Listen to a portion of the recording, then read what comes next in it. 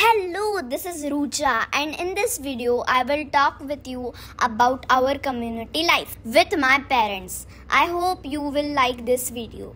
It's so boring sitting alone. I always enjoy it when my friends are around. But why so, Dad? Everyone likes the company of people so that they can talk, play, share our joys and sorrows. Yes, at home we live with our family. We have neighbors, we have pets, and we also miss them when they are not around. Even I miss my best friend. She is my best companion.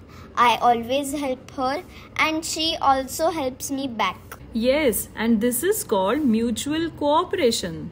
Our daily needs, such as education and healthcare, are fulfilled in a community. Also, to satisfy our needs, we need to produce goods, and this is called production of goods. But what is service? Service is the process of reaching those goods to people. These both things are needed to satisfy the needs, and only one person cannot do this alone.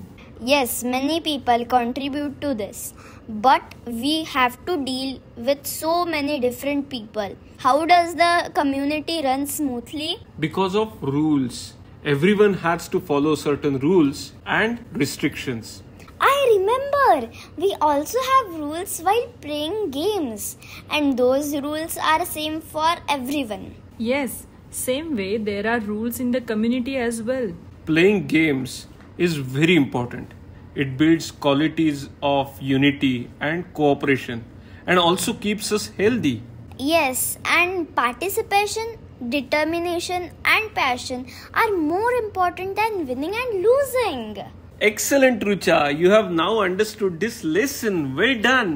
हा video जर का आवडला असेल तर नक्की like करा आणि तुमच्या मित्रमैत्रिणींबरोबर शेअर करा असेच मस्त मस्त व्हिडिओज बघायचे असतील तर माझा चॅनल सबस्क्राईब करा.